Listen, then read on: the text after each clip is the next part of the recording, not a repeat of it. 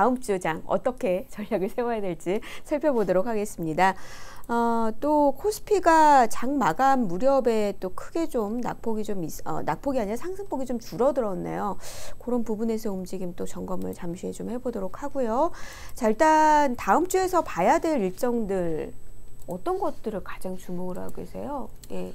일단 뭐 이번 주 우리나라 시장은 이제 끝나잖아요. 네. 이제 주말 동안에 그 미중 간의 무역 협상의 결과들이 나올 건데 그 결과가 과연 어떠한 방식이고 이건 나오는 건 문제가 아니고요.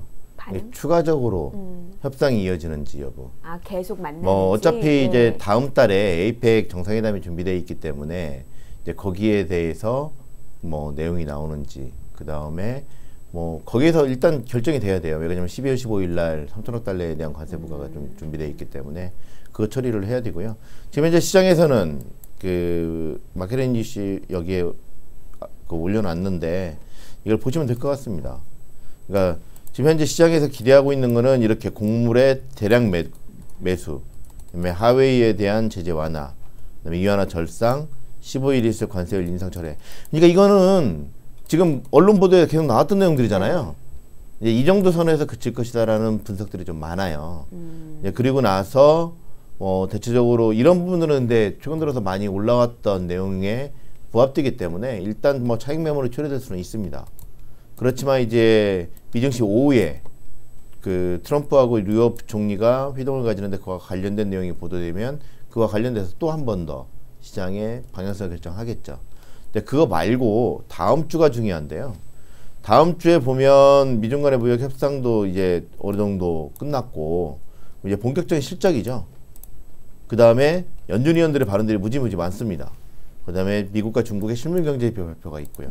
자, 그러면 월요일 날은 미국의 Columbus Day라고 해서 휴일이에요. 근데 네. 이제 주식시장은 어, 열리고요. 그렇죠, 그렇죠. 어, 근데 이제 화요일 날을 보면 발언들이 많습니다. 불라드, 데일리, 보스턴 연은 총재 있고 이날이 중요하죠. JP 모건 웰스파고, 골드만삭스 실적 발표가 있습니다.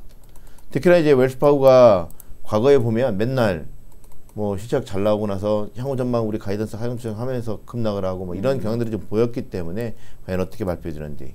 그다음에 장마감 후에 넷플릭스하고 IBM 실적 발표.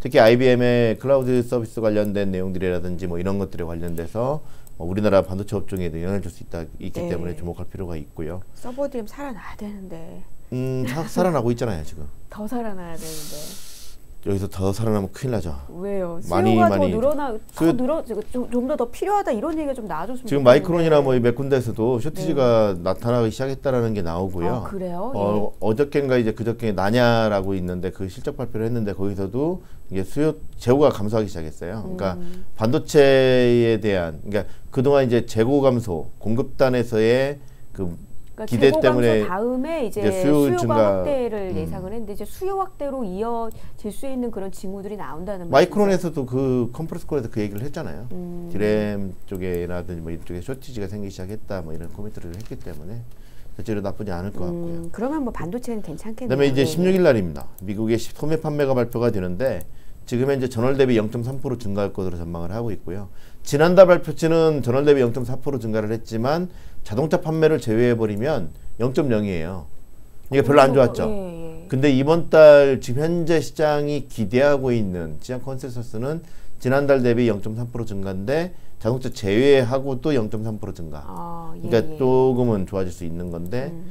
예, 이런 부분들 뭐 대체적으로 보면 그 연준 위원들 발언도 많고 미국의 산업 생산이라든지 중국의 3분기 저 성장률 이게 좀 지난번보다 좀 둔화될 것으로 전망들을 하고는 있는데 이런 부분들 그러니까 결국은 뭐냐면 시장은 지금 이제 이슈들이 대부분 다 끝났잖아요. 네. 이제 정치 이슈가 하나 남았습니다. 뭐냐면 영국 쪽에서 브레시트. 아, 그- 아, 다음 까먹- 주에.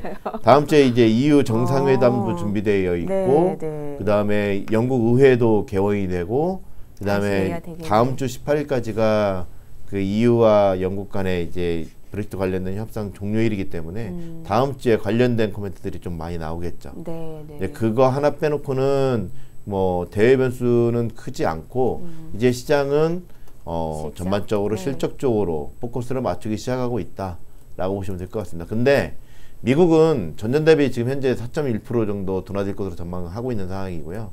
어, 그렇기 때문에 이게 실적단들이 조금은 surprise율이 좀 높아지면서 마이너스 4%가 좀 감소해서 좀 축소하는 그런 모습을 좀 더 빨리빨리 보여주지 않는 이상은 미국 증시가 여기서 상승을 좀 더 확대하기보다는 제한적인 모습을 좀 보일 수밖에 없다라고 봐야 될 것 같고요. 이게 반면에 만약에 미국 증시가 여기에서 급락을 하지 않고 견조하게 그냥 네. 횡보 네, 예. 실적이 워낙에 별로 안 좋으니까 음, 근데 이제 우리나라. 주식시장은 좀 다르죠. 네, 네, 네. 뭐냐면 삼성전자 실적 발표 이후에 보면 어, 지난 8월 달에 바닥 확인하고 나서 실적 추정치가 계속적으로 상향 조정되고 있거든요. 음, 이건 달리 말하면 우리나라 주식시장은 이미 그 실적 부진 이슈는 작년? 말부터 네. 올해 1분기 정도까지 이미 반영이 다 된 거고 이제는 바닥 찍고 올라가고 있다. 라는 점을 감안하면 우리나라는 그나마 견조한 흐름을 좀 보일 수 있다라고 봐야 될 것 같습니다. 정말 예상대로 4분기 되면 더 괜찮아질까 그런 기대감도 주가적인 측면에서는 그런 얘기도 나오고 있는 것 같은데 흐름은 좀 기대를 해볼 만한 것 같아요.